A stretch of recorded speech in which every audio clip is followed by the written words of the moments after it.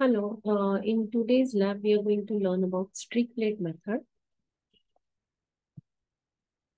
So the aim of our experiment is to isolate microorganisms using streak plate method.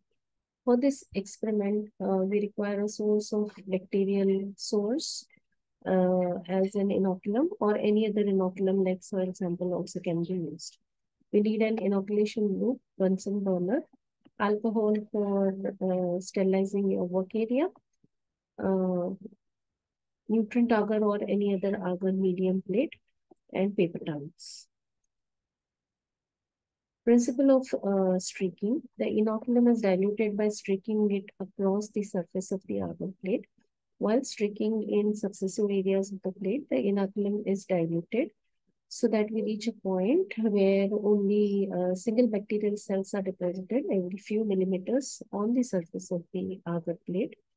An isolated colony is formed when uh, these lone bacterial cells will divide repetitively, giving rise to thousands of new bacterial cells in the form of a visible colony. Uh, these isolated colonies can be then restreaked to obtain pure cultures of a particular organism. Uh, in general, there are different methods of streaking that can be used. For example, quadrant streaking, T-streaking, continuous streaking, or radiant streaking. So here we have a diagrammatic representation of how quadrant streaking is done. And as you can see, your plate is divided into four different quadrants in quadrant streaking method. And uh, in first you make your inoculation uh, in the first quadrant, which is sometimes also known as the inoculation zone. And you will uh, basically sterilize your loop and uh, apply the culture, full of culture in the uh, first quadrant by making uh, these kind of parallel uh, streaks. After that, we flame the loop and then make streaks in this direction in the second quadrant so uh, eventually third and the fourth quadrant. So eventually by the time we reach the fourth quadrant, generally we get uh, formation of isolated colonies which are discrete and separate from each other. Procedure. So first we need to sterilize the inoculation loop using a Bunsen burner uh, by making the uh, loop red hot or an incinerator also can be used.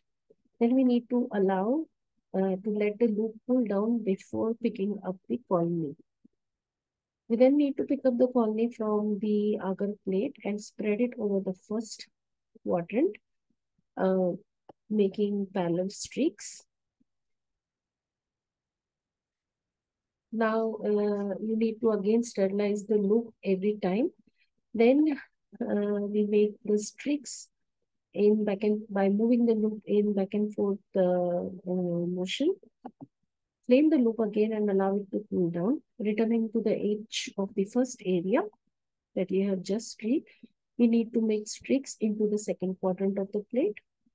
Further, flame the loop again, allow it to cool it down, and return to the area that you have just streaked, that is area 2 or quadrant 2 and then extend the streaks into the third quarter of the plate. Again, flame the loop, allow it to cool down, and then uh, returning to the area that you have just streaked, that is area 3, extend the streaks into the central or the fourth quadrant of the plate. Of the plate. Then uh, flame your loop once again before you put it up. Results uh, the streak plate is to be incubated at 37 degrees Celsius for 24 hours, after which uh, the colonies are examined carefully. The colonies that are having uh, same general appearance uh, or different appearance, they are basically uh, indicative of different organisms. If there are more than one colony type that are present on a petri plate, then each type should be streaked again on a separate plate in order to obtain a pure culture of that particular microbe. Thank you.